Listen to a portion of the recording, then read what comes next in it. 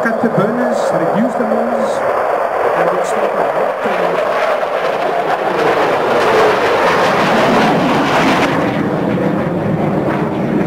You can see they now enter a turning fight. The hawk has to honor the one uh, Gripen turning against it in what we call a scissor, whilst the free Gripen is positioning himself in a rear, in an ideal position in the rear sector. Those two have just crossed. The hawk is now basically sandwiched between the uh, two Gripens. And he now has a choice to make. Uh, awful one, might I add.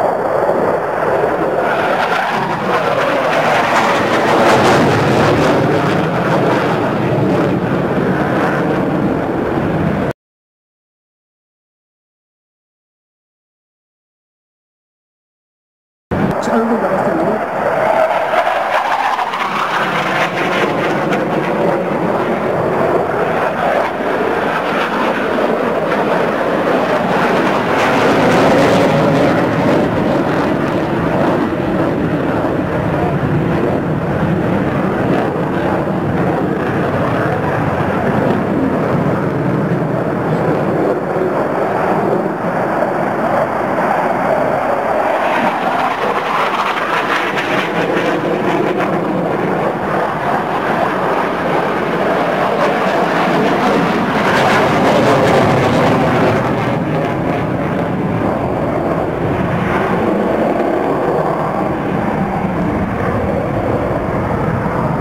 we walked it there with a straight road basically to acknowledge that uh, he was actually shot down.